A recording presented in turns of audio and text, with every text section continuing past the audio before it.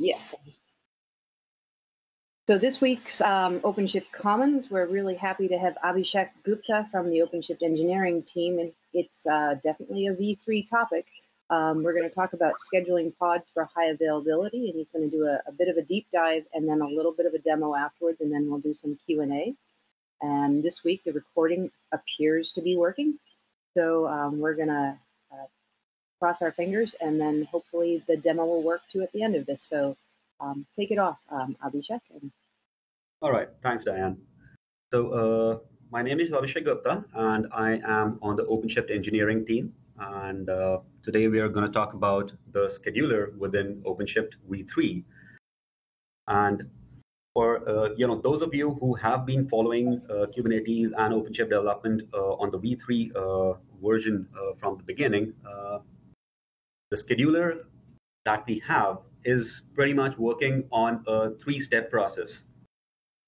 So talking about the scheduler overview, uh, the first step of uh, the scheduler is to take the list of the entire nodes in the system that are available and are schedulable and filter out the ones that do not fit the requirements for the pod. So the requirements that a pod could state could be things like, you know, uh, certain hosts, uh, certain uh, ports are required, certain disk volumes are required, or certain resources are required. So things like that. So some basic uh, uh filtering out of the nodes that don't fit the requirements of the pod, uh, those are taken into consideration. In the second step, the filtered nodes are now prioritized uh, to find you know the best fit, and each priority function gives a score of between 0 to 10 to each of these nodes and they can also assign a weight to a priority function. So the way uh, this works is you can have multiple priority functions, and we're going to talk about you know predicate functions for filtering and priority functions for the prioritization uh, a little bit later in detail. But uh, the priority functions give a weight of uh, you know 0 to 10, and you can assign a weight to uh, balance your uh, prioritization algorithm a little better and have granular control over it. Finally, uh, once you have your prioritized list of uh, nodes, uh, you just select uh, the best fit, you know, the ones which have the highest score. And if you have multiple of those, you just select the, uh, you know, uh, one at random from that list. So let's talk about the predicate functions in details. These are the ones that are the filter mechanisms for filtering out the nodes that do not fit the pod requirements. And you can specify multiple of these. Uh, each predicate functions deal with a specific, uh, you know, constraint or requirement or, uh, you know, uh, conditions that is specified as part of the scheduler configuration. And each node has to pass through all of these predicate functions in order to be considered a fit for scheduling a given pod. So taking a look at some of the available predicate functions that come out of the box with the OpenShift.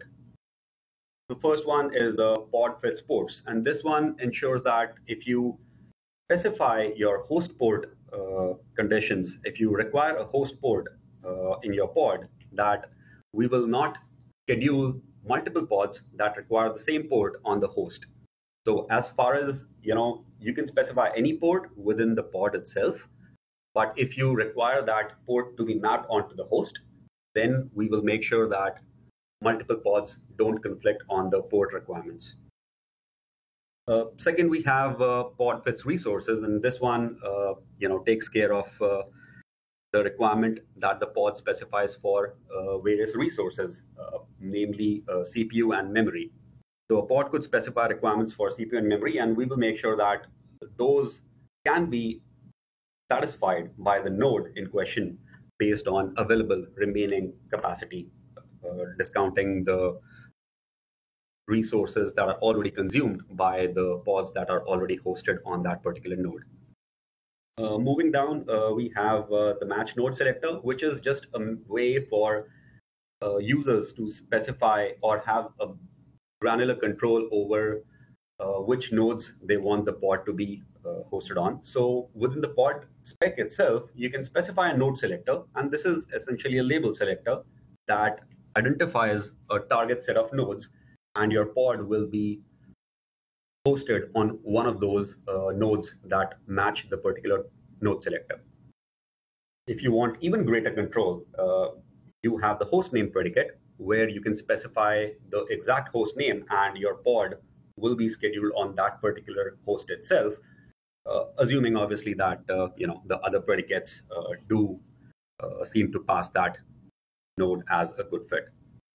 And finally, uh, we have the service affinity, which is of uh, especially interest to us today with regards to our HA discussion. And this is the predicate that ensures that you know all pods that belong to the same service are hosted on a given set of nodes that are identified by the configuration for this predicate. And we'll go into the details of this one a little bit later. Uh, now coming on to the priority functions, and these are the ones that uh, come into play in the second step, in the second phase of the scheduler functioning. These are the ones that determine the relative suitability of the uh, to host the pod for a given node. And uh, as we've mentioned, uh, each priority functions can assign a score of 0 to 10 to each node. You can further uh, refine your policy by specifying or allocating a weight to a particular priority function in order to give you know greater importance to a particular uh, algorithm and deprioritizing a different algorithm while not removing it completely. Uh, multiple priority functions can obviously be specified and uh, the scores that all of these give to the nodes are then aggregated. The weighted scores are aggregated and uh, that is how you get the final scores for each of the nodes to host a given pod. Some of the available priority functions that we have in the system today out of the box are the least requested priority, and this one uh, favors the nodes where fewer resources are requested. Now, what that means is if you have pods already hosted on that on a particular minion, those pods we will calculate the resources that have already been requested and hence deemed consumed by the pods that are on a given node. And then we will make sure that uh, we will prioritize the nodes that have more or greater available capacity, uh, you know, and deprioritize the ones that have, uh, you know, uh, low available capacity and things like that. And obviously, uh, as a side note, pods do need to specify the resource requirements. So I mean, it's not uh, it's not necessary for a pod to specify their CPU and memory requirements, but for this particular uh, priority function to have any meaningful impact, the pods need to specify that. Uh, the second one down is uh, service spreading priority. And uh, what this does is it ensures that there is a good spread of the pods that belong to the same service among the available nodes uh, within uh, the system. And again, available nodes, uh, when we talk about, we are talking about the filtered nodes that have passed through the first phase. if we were to take this concept a little further, we have the service anti-affinity. And what this one ensures is that there is a good spread of the pods belonging to the same service across a certain group of nodes. Now, while the previous one just spread it across all nodes, this one would identify, you know, individual groups of nodes and spread it among the different groups as identified by uh, label selectors. And we'll go into the detail of uh, this particular priority function in detail when we talk about uh, HA. So looking at some of the HA requirements, uh, actually taking a quick step back in 2.x, uh, if some of you have followed uh, the scheduling algorithms in OpenShift 2.x, uh, over there we have a similar concept with the regions and zones, but those are a little prescriptive. Uh, we force you essentially in, uh, to uh, categorize your nodes within certain regions and zones. And while those functionalities are you know really helpful in achieving a good spread and HA. Uh, our current focus within uh, OpenShift 3 and the design for that, you know, we aim to be a little more flexible. So having said that, uh, let's look at some of the requirements that we, uh, you know, began with uh, with regards to HA for the scheduler. So we wanted to have uh, the ability to define multiple infrastructure levels. So infrastructure levels are, you know, things like your zones, racks, power bars, and uh, things like that. Uh, these are completely flexible as such, and uh, you can have multiple of these levels which can be nested. Uh, secondly, we wanted the ability uh, to restrict all pods belonging to a particular service within a particular infrastructure level. So what that means is if my uh, you know pods or if my application has uh, you know low latency requirements, I definitely don't want them to span uh, great regions and uh, great distances, and would want them to be co-located in a, uh, you know within the same rack or the same zone or things like that. And that is something that we wanted the ability to have and be able to specify that at uh, any level or at multiple levels. Uh, spreading the zones within a given uh, service among the particular set of nodes. So this is the crux of uh, uh, anti-affinity or uh, having a good spread at a certain level. So let's say I want all of my service pods within the zone to be spread across all the available racks. This is the priority function that uh, uh, we'd be using, and that is you know one of the requirements that you could specify a good spread at again multiple levels. This so now talking about the infrastructure topology in a, a bit of a detail. Like I said, we've made this fairly flexible such that administrators can define multiple levels and uh, you know these could be uh, any levels really. So as examples, uh, you could have uh, zones, racks, power bars, and the way we have allowed uh, administrators to define this is by the use of labels on the nodes. You can have simple labels be specified on the nodes, you know, as, uh, for example, zone equals Z1, rack equals R1, power equal power bar equals uh, B1, and that is essentially what uh, will be picked up and uh, considered by the scheduler in terms of uh, infrastructure topology levels. Uh, level names and the number of levels completely flexible, so there is no fixed uh, specification on what names you want to give your levels or how many levels you want to have. So you're completely free to specify something like, you know, city, building, server room, racks, and any of those things as your labels. Uh, finally, uh, levels are usually nested, and you know that that is something that uh, has uh, been sufficient, but that is not being uh, built in as a requirement. So you can have orthogonal uh, uh, sets of your node clusters. For example, you could have a prod dev test as uh, one set of categorization, and you could have an orthogonal set that is zone and rack. You know, assuming that uh, zone could have uh, nodes from both prod, dev, and test, and things like that. It depends upon the requirement. there could be use cases that would benefit from this. So the next thing that we wanted to talk about was service affinity.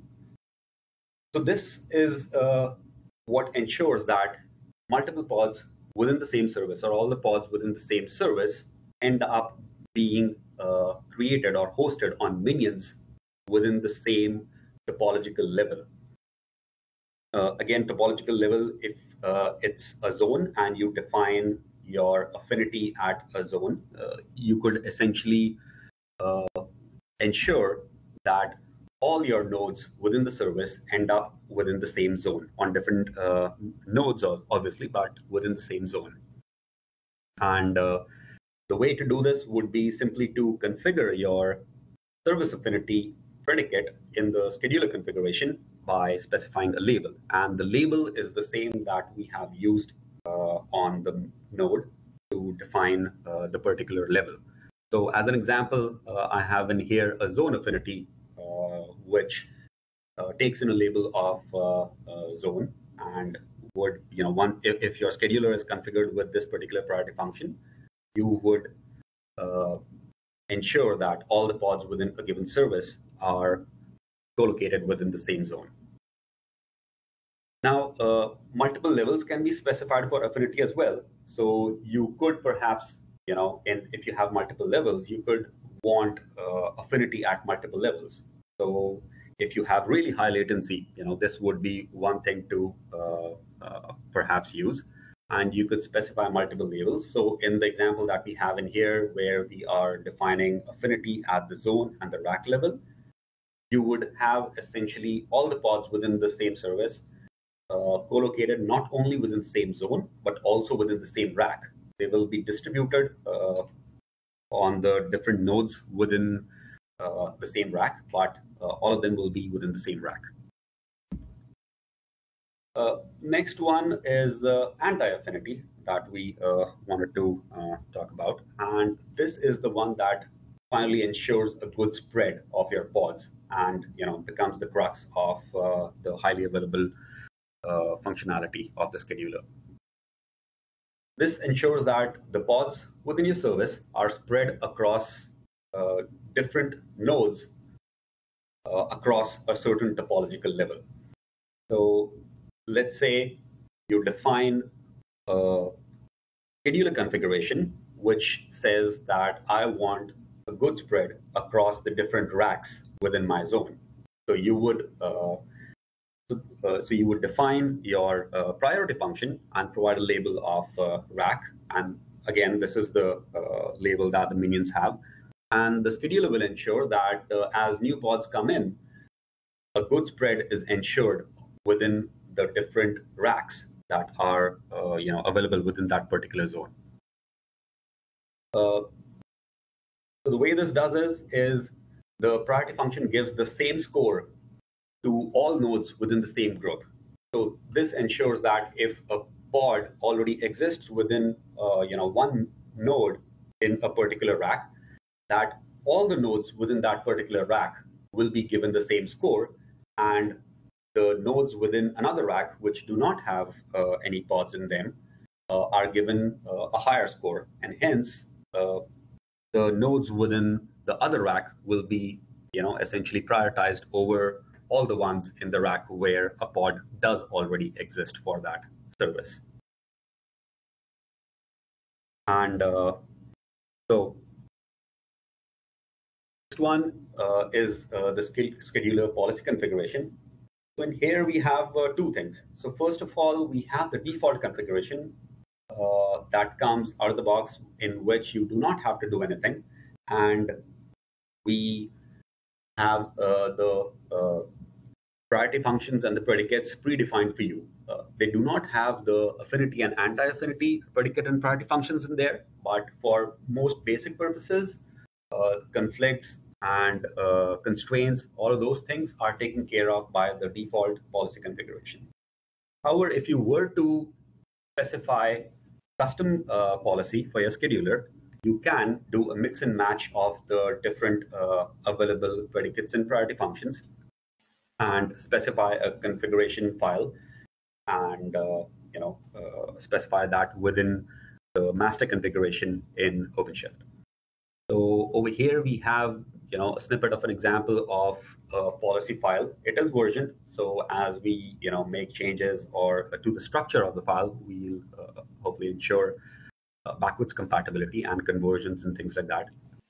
So in this example, uh, I have added uh, two predicates uh, the pods fits resources, and uh, I am defining affinity at the zone level. And as far as my priorities are concerned, I am ensuring that a good spread as far as resources being consumed for my nodes is uh, ensured by using the least requested priority. And I am uh, specifying a spread at the rack and the power bar level. to take uh, now an example of what happens when you have these priority functions defined, uh, let's look at case where we have uh, defined affinity at the zone level and anti-affinity at the rack and the power bar level. So over here in the chart, we have two zones defined. Uh, you know, the top zone has uh, uh, 12 uh, nodes, and the lower zone Z2 has, uh, again, an, an, another 12 nodes. Within each zone, we have uh, three different racks, and within each rack, we have two different power bars, and each power bar has two nodes. So now what happens when a pod belonging to a service uh, comes in? Uh, since the pod does not have any other uh, requirements specified on a particular region or, or, or on a particular zone or uh, a host uh, or a node, the scheduler will just host it or schedule it on any available node within the cluster. So let's say in this case, it gets posted or scheduled on uh, a node within uh, the Z2 zone within rack R22 and uh, you know uh, one of the power bars within that. Now, once this one uh, you know fits into any particular uh, zone, what happens if new pods are then created for this particular service? So let's say we create five more pods. So now that we see that new pods coming in, the affinity policy at the zone level will ensure that all the new pods will end up being scheduled onto the same zone. So all the zone or all the new pods uh, end up getting scheduled on uh, the minions within Z2. In terms of uh, anti-affinity, now we have uh, configured a good spread at the rack and the power bar level, and this ensures that uh, you know the second uh, pod coming in, which is uh, P1 uh, uh, or P2S1 goes on to rack R21, the third pod goes on to the third rack, and then, you know, as new pods keep coming in, they're added onto different racks within the same, or sorry, different power bars within the same rack, and uh, so on and so forth. So eventually, uh, if you have six, you will ensure that each power bar within each rack has one pod. If you go on to now add more pods, you will get duplication or essentially, uh, you know, more pods, multiple pods within the same power bar. But even then, we will try to add it to different nodes within the power bar to have as good a spread as possible at that level. Uh, now, finally, before moving on to the demo portion of it, uh, just wanted to make a, a, a quick word about the uh, scheduler extensibility uh, aspects. So just as anything within uh, OpenShift and Kubernetes, we follow a general model of uh, pluggability such that you know things are based on a plugin model. So having said that, there are you know essentially two ways to extend uh, and enhance the functionality of the scheduler. The first and foremost, current scheduler implementation is definitely extensible and configurable.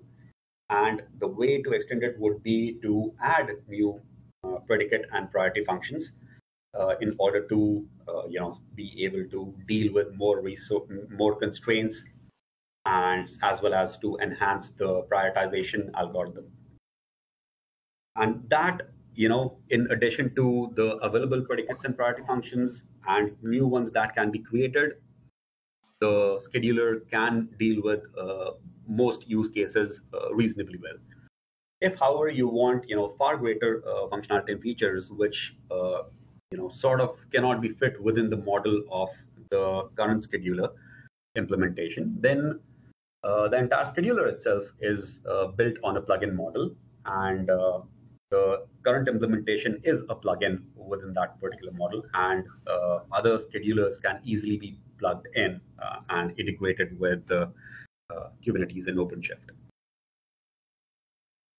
So uh, now, uh, having said that, I'll move on to the demo portion of it. did we want to take questions after the demo, Diane, or before that?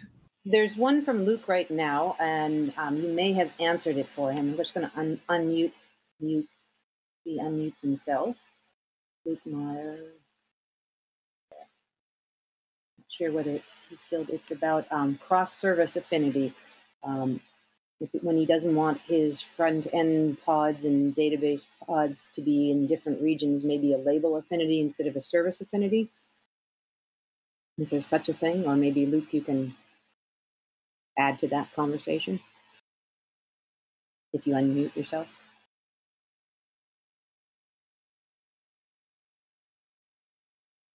So uh, if I uh, understood the question correctly, we are talking about uh, cross-service uh, uh, anti-affinity, I uh, presume. And one way to do that would be to just specify, you know, different regions within your pod itself or your replication controller and things like that.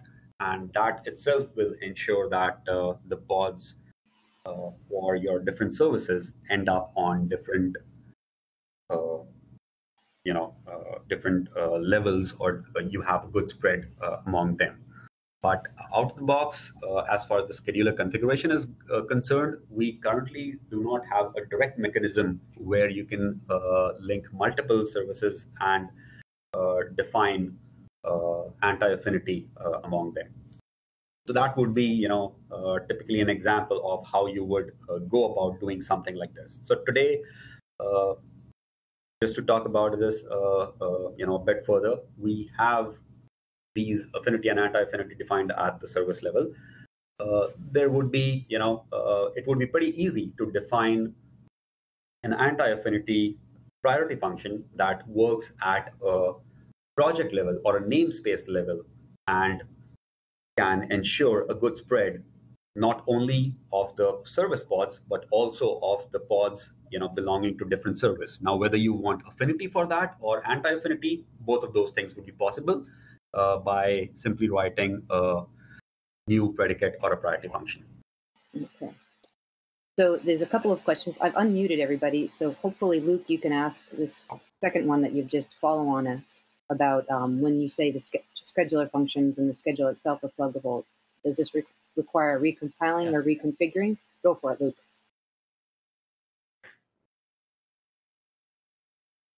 Did I get that right, Luke? The question? Uh, let me just uh, scroll up. Uh. Yeah, go on to the side here. You can see some of these. So, is it at the top? All the way down the bottom, very, very bottom. There's three questions at the bottom. Okay, so when you say scheduler functions and the scheduler itself are pluggable, this requires recompiling or reconfiguring? Uh, we need to convince them about vision and how they're going to be part of making that vision a reality versus. So if, some, so if someone is speaking, it's very faint. Uh, can barely yeah. hear the person. We need to buy into and we need to retain the talent by giving them the right incentive, which I'm sure Phil and Divya can help us with that as long as we can get them on board. With, with I think. Yep.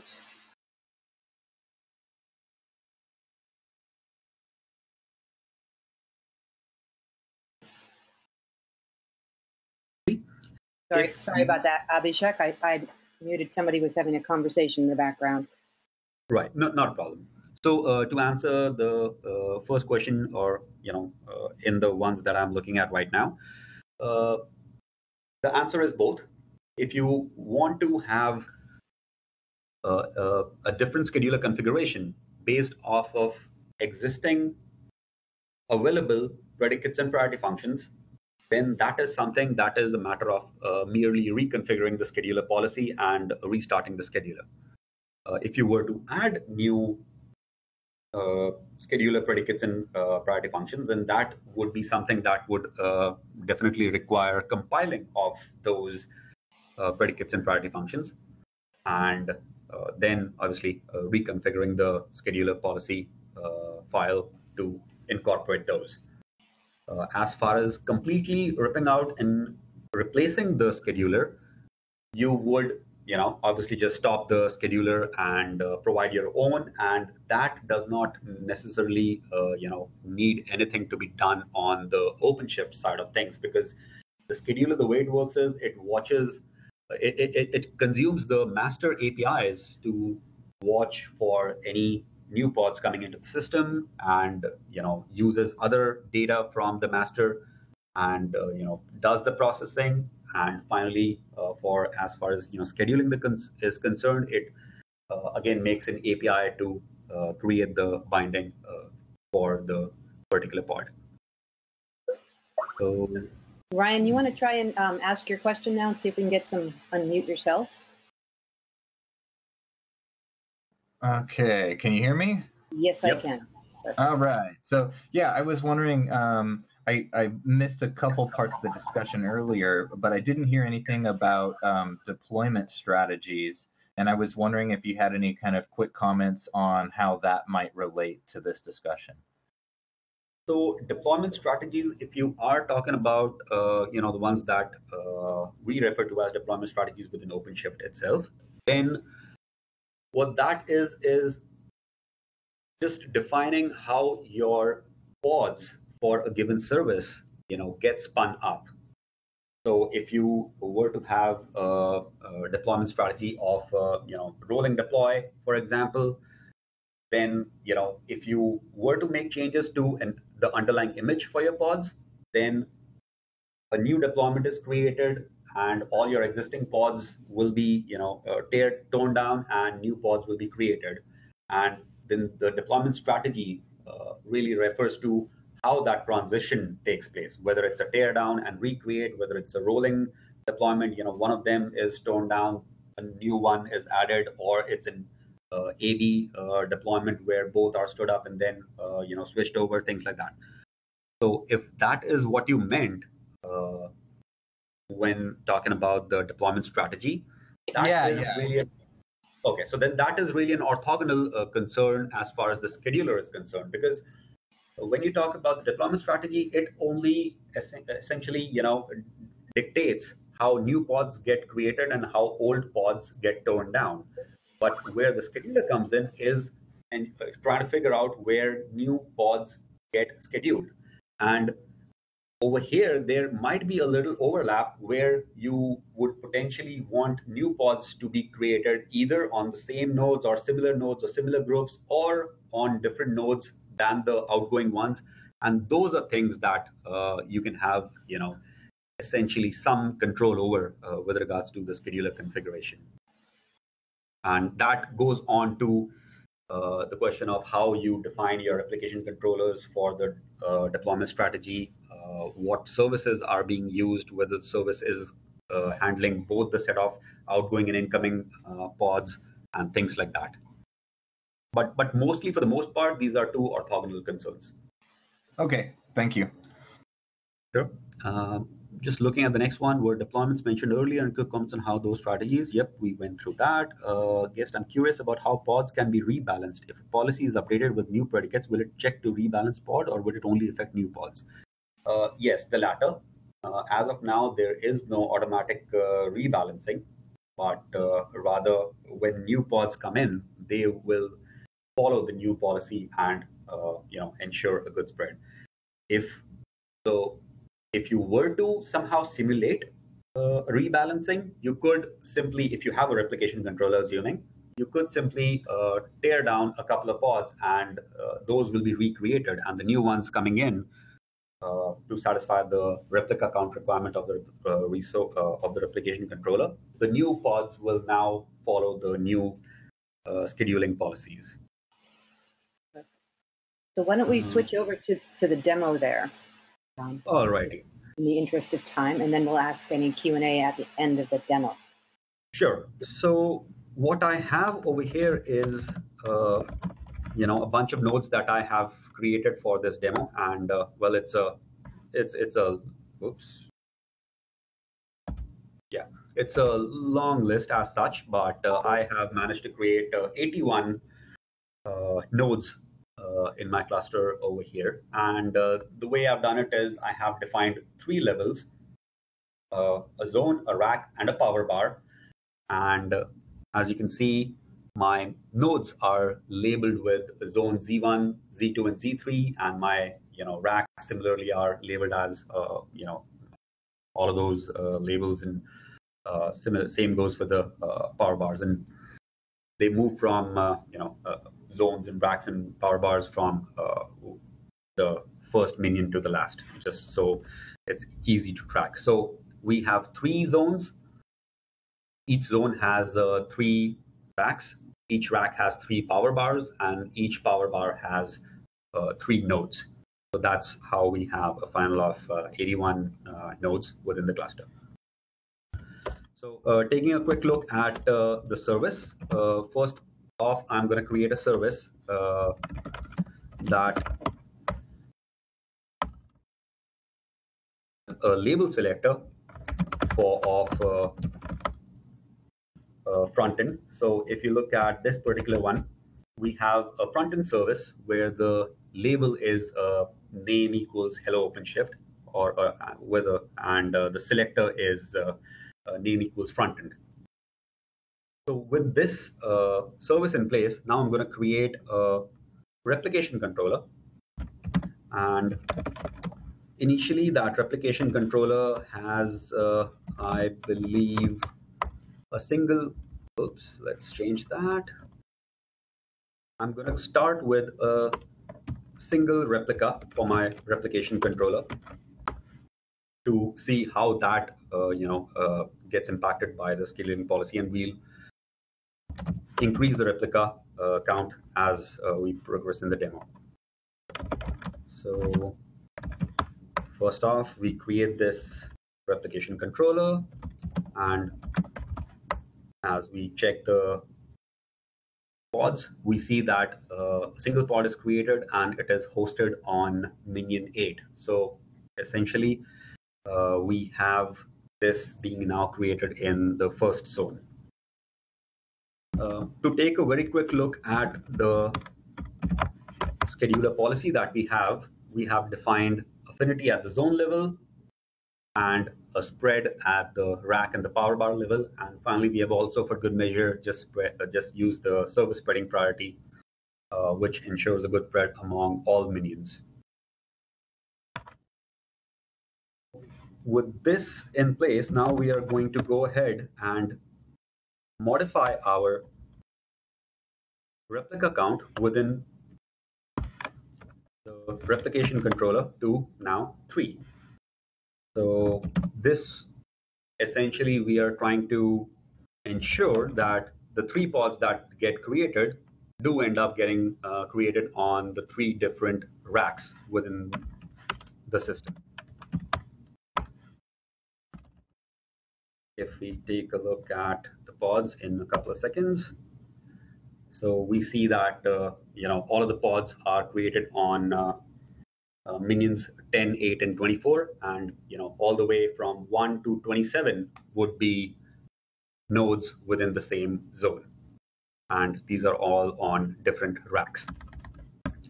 If we were to you know further go ahead and uh, just uh, change that to 9, the objective over here is to try and figure out uh, or to verify that there is a good spread of these pods across the different power bars now.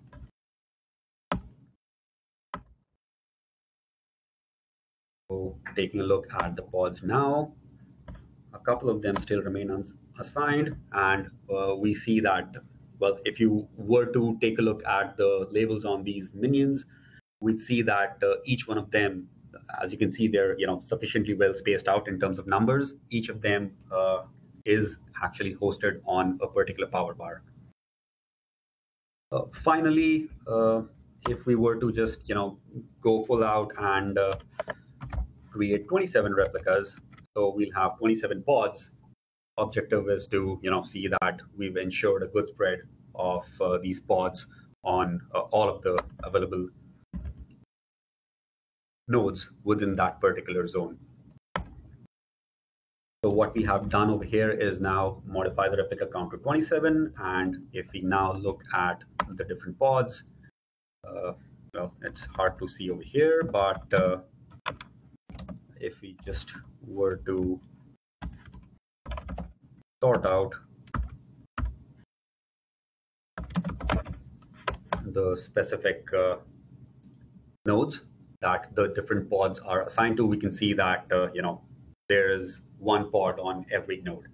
Now, if you further increase the number of pods within your service, you will get duplication. But even the new ones coming in, we will ensure that uh, you know if you add three more, they will get added to uh, one uh, of each of the uh, racks and so on and so forth.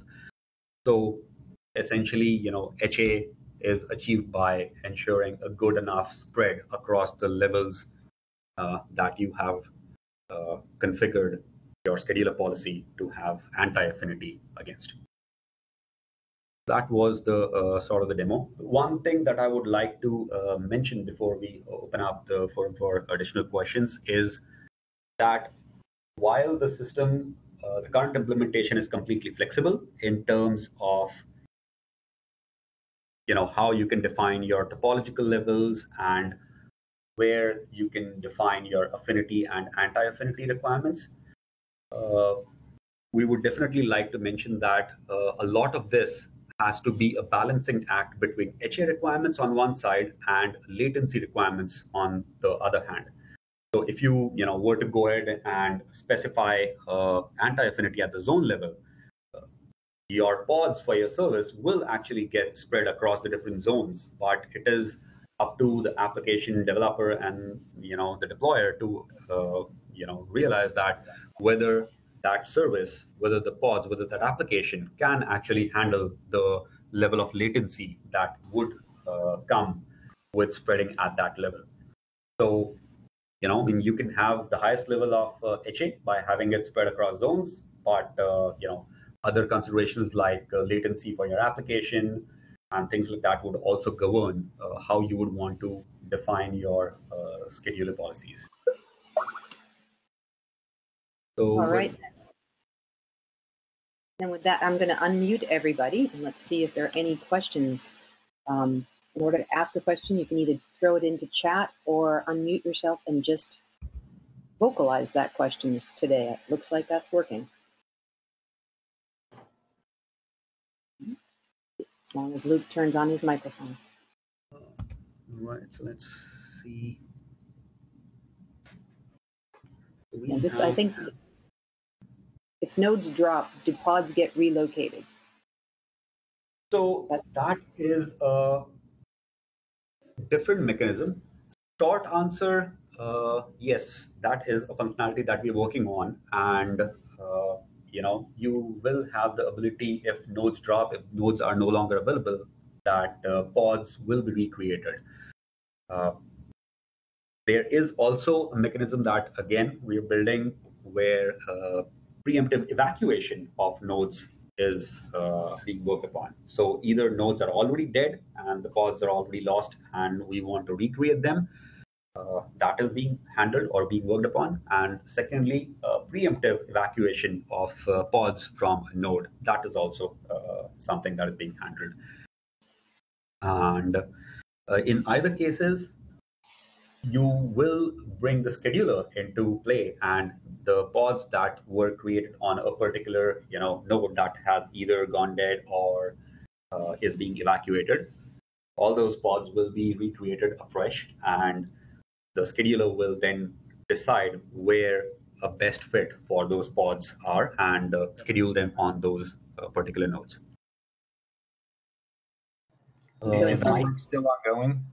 The mics are working fine. Go for it, Brian. Ask your question.